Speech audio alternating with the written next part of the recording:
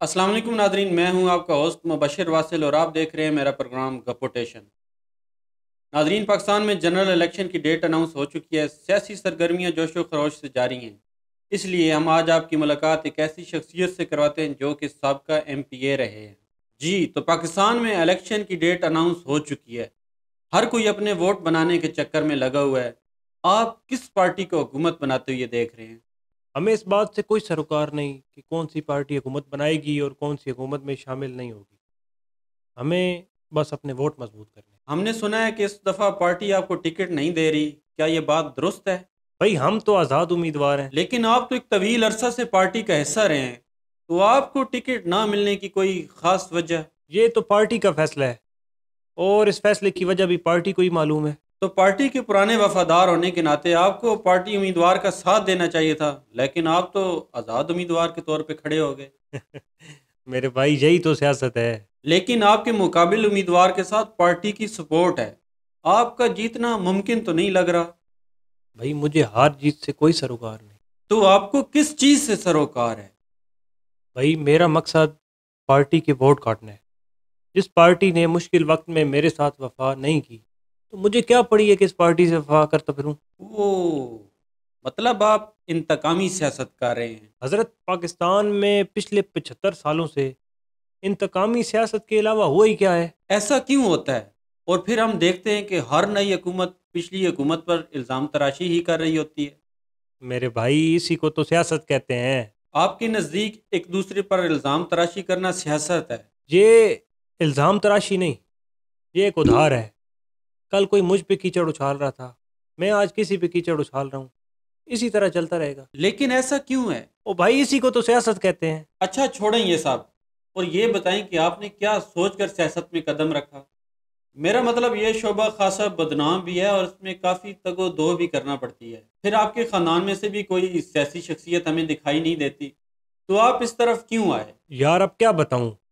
बड़े हसीन ख्वाब लेकर इस मैदान में उतरे थे। अच्छा कैसे ख्वाब? मैं बचपन में सोचता था कि कुछ ऐसा करूँ कि जिसके ज़रिए मुल्क की खिदमत हो लोगों के काम आऊँ मैं। तो आप मुल्क की खिदमत का नज़रिया लेकर सियासत में आए थे? हाँ कुछ ऐसा ही था। लेकिन आजकल जो सियासत हमारे मुल्क में चल रही है आप क्या समझते हैं कि आप मुल्क व कौम की खिदमत कर सकते हैं? भाई आपने मेरी बात पे गौर नहीं किया। मैं खिदमत का नज़रिया लेकर सियासत में आया था। यानी अब आप इस नज़रिए के तहत सियासत नहीं कर रहे। इब्तदा में बड़ी कोशिश की मैंने कि ख़ुद को इस गलाजत से दूर रखूँ लेकिन इस निज़ाम ने ऐसा करने नहीं दिया। माजरत के साथ तो यानी अब आप भी इस करप्ट निज़ाम का हिस्सा बन चुके हैं। कौन सा करप्ट निज़ाम? यहाँ सियासत में बस कामयाबी का एक ही फार्मूला है। वो कौन सा? खुद भी खाओ दूसरों को खिलाओ और निज़ाम चलाओ। तो अब आप इस फार्मूले के तहत सियासत कर रहे हैं। आपको इल्म है कि मैं सियासी बैकग्राउंड से नहीं हूँ। तो सियासत में आगे आने के लिए। ये सब तो करना पड़ता है। यानी तरक्की के लिए करप्शन का सहारा लिया आपने। ये बातें अब आने करने वाली नहीं है। आप माशाल्लाह इतने जहीन हैं और दौलतमंद भी। आप कोई कारोबार क्यों नहीं कर लेते? अस्सलाम वालेकुम। जी जी जी जी वालेकुम सलाम वालेकुम सलाम। सर कैसे हैं? खैरियत से हैं? जी जी मलिक साहब मेरे पास नंबर सेव है आपका। सुनाए खैरियत से हैं? अच्छा अच्छा अच्छा। हुक्म करें। हाँ समझ गया।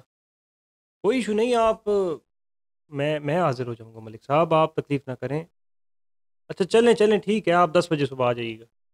मैं मैं आपका नौकर ताबेदार। चलें, ठीक हो अल्लाह हाफिज़, अल्लाह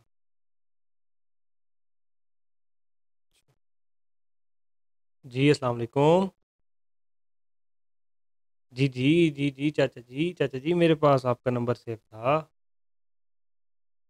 मैं मैं आपका नौकर, जी, मैं आपका नौकर। हुक्म करें। हाँ मेरा भाई है आपका बच्चा, मेरा भाई है। नौकरी का इशू है। आप सुबह आ जाए ना डेरे पे। मैं नौकर ताबेदार। अल्लाह हाफिज़, अल्लाह सर पॉडकास्ट के दरमियान तो कम अज़ कम ये सेल अपने सेक्रेटरी को दे देते। कम अज़ कम ये पॉडकास्ट तो दरमियान में ख़राब ना होता। आपको पॉडकास्ट ख़राब नहीं होगा। इन दिनों असल में मेरे सेक्रेटरी की छुट्टियाँ हैं। इंतहाई मसरूफ़ दिन है ये इलेक्शन के और आपका सेक्रेटरी छुट्टियों पर गए हुए है। असल में सारा साल हम लोग छुट्टियों पे होते हैं। फ़ोन होता है सेक्रेटरी के पास जिसका फ़ोन आता है झूठ सच करके उसे चुप करा देता है। और ये आखिरी जो इलेक्शन के दिन होते हैं तभी तो हम लोग हल्के में आते हैं। चाचे मामे ताए दूर के मलक चौधरी अमान कम्मी मिरासी मुसल्ली सब के फ़ोन हमने खुद सुनने। उनको जवाब देना है उनको सीने से लगाना। है हमें मोहब्बत शोबत नहीं है उनसे लेकिन सियासत के लिए सब कुछ करना पड़ता है। अच्छा चलिए इस सबको छोड़े हमारी बात कारोबार पर हो और मेरे भाई पाकिस्तान में सियासत से बड़ा कोई कारोबार है? सियासत को कारोबार कैसे कह सकते हैं आप? भाई कारोबार नहीं है सियासत तो और क्या है? आप मुझे बताएँ हम जो इतनी बड़ी रकम इन्वेस्ट करते हैं इलेक्शंस पे इलेक्शन के बाद हुकूमत में आकर उसी को तो रिकवर करते हैं। हो गया ना कारोबार? ये बात तो है। तो आप लोग इलेक्शन कैंपेन पर इतना खर्चा करते ही क्यों हैं? जब सादगी से एक दुल्हन को ब्याया जा सकता है तो इलेक्शन कैंपेन सादगी से क्यों नहीं चलाई जा सकती? बड़े भोले बंदे हो तुम भी। हमारी कौम इतनी सहूलत पसंद हो चुकी है कि ये जो जनाजे हैं हमारे मैतें हैं उनको भी गाड़ी चाहिए जनाजा गाह तक जाने के लिए। और तुम्हारा ख्याल है कि मीलों का फासला तय करके लोग मेरे जलसे में मुफ़्त आ जाएँगे? बात तो सच है मगर बात है बिरयानी की।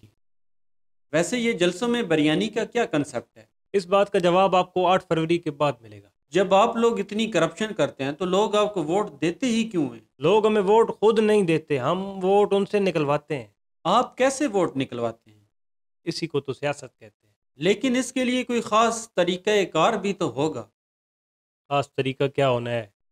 किसी को लालच दे दिया किसी को बहला फुसला के बेवकूफ़ बना दिया और वोट हमारे। मतलब आप लालच की पुड़िया बेचते हैं?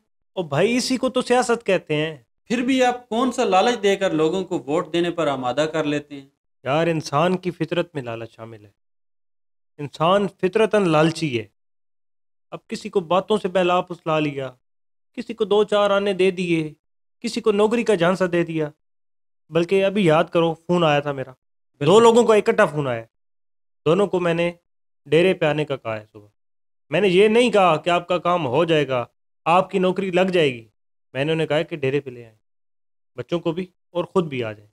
चाय पानी करेंगे और वो अपने घर और वोट हमारे पक्के। मतलब इन दिनों आप लालच की पुड़िया सेल करते हैं। यार मैं आपको पहले भी बता चुका हूँ। इसी को सियासत कहते हैं। चलें ये बात तो मेरी समझ में आ गई कि आप नौजवान नस्ल को अपनी बातों में बैला फुसला कर ले आते हैं। लेकिन आप इनके वालदेन को मतलब कौन सा घेरा उनके गिर तंग करते हैं जो वो आपकी बातों में आ जाते हैं? हाँ ये बात ठीक है कि बुज़ुर्गों को या ख़ानदान और बरदरी के बड़ों को अपनी तरफ़ लाना उनके वोट निकलवाना एक मुश्किल काम है। लेकिन सियासत है सब करना पड़ता है। लेकिन यहीं पर तो आपकी सियासी बसीरत का इम्तहान है। आप मतलब उनको कैसे बहला फुसला कर ले आते हैं? यार, आप देखें कि जितने भी खुद को समझदार कहने वाले हैं ना, उनकी अकल, गली और नाली की सियासत तक आते आते ख़त्म हो जाती है। इलेक्शन के दिन आते ही ना, लाख, दो लाख, तीन लाख में किसी की नाली बनवा दी, गली बनवा दी और पूरे ख़ानदान का वोट हमारे साथ इससे ज़्यादा की उन्हें ज़रूरत ही नहीं है। बाज़ लोग तो लालच में ही आ जाते हैं, बातों में ही आ जाते हैं। मतलब तो लालच की पुड़िया से आपका काम चल जाता है। ये लालच की पुड़िया नहीं ये सियासत की गुड़िया है। चलें ये तो थी सियासी रहनुमाओं और पार्टियों की कारस्तानी अब बातें इदारों की सियासत की तरफ़। खुद भी मरोगे और मुझे भी मरवाओगे। अच्छा ये जो कुछ अदारे हमारे सियासी मामला में मदाखलत करते हैं इनके बारे में आपकी क्या राय है? भाई मैं नौ मई के वाक़ात की भरपूर मजम्मत करता हूँ। मुझे दें इजाज़त अल्लाह। भाईजान भाईजान पॉडकास्ट मुकम्मल करते जाएँ। ओ भाईजान यार नाजरीन अब वो तो गए हैं भाग। मैं भी नौ मई के वाक़ात की भरपूर मजम्मत करता हूँ। इसी के साथ मैं आपसे चाहता हूँ इजाज़त। अल्लाह आपका हामी और नासिर हो।